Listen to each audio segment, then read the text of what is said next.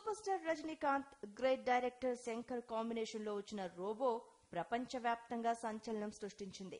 మళ్ళీ ఇదే కాంబినేషన్లో రోబో చిత్రానికి సీక్వెల్గా రూపొందుతున్న టూ పాయింట్ జీరో చిత్రంపై భారీ ఎక్స్పెక్టేషన్స్ ఉన్నాయి.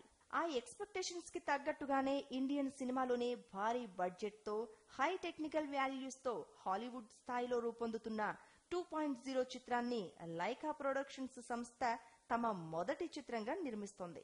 ఈ చిత్రంలో బాలీవుడ్ స్టార్ హీరో అక్షయ్ కుమార్ విలన్గా ఓ విభిన్నమైన పాత్ర పోషిస్తూ ఉండగా అమీ జాక్సన్ హీరోయిన్గా నటిస్తోంది.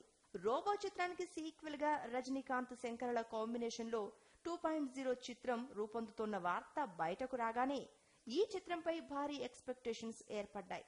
ఆ ఎక్స్పెక్టేషన్స్కి తగ్గట్టుగానే బిజినెస్ పరంగా two point zero sensation create చేస్తోంది. శాటిలైట్ రైట్స్ కోసం కూడా భారీ పోటీ నెలకొంది. అంతటి పోటీ మధ్య జీటీవీ ఈ చిత్రం శాటిలైట్ రైట్స్ దక్కించుకుంది. తెలుగు తమిళ్ హిందీ భాషల శాటిలైట్ రైట్స్ను నూట పది కోట్లకు జీ తెలుగు కైవసం చేసుకుంది. ఈ చిత్రం షూటింగ్ పూర్తిగా వచ్చింది. దీపావళి కానుకగా ఈ చిత్రాన్ని వరల్డ్ వైడ్గా రిలీజ్ చేయడానికి ప్లాన్ చేస్తున్నారు.